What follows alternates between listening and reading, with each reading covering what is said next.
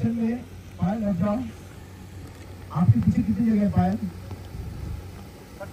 जहाँ सेफ़ है बस बस अभी एक्शन में एक देखो भाई कैमरा कहाँ गया? आगे ले अच्छा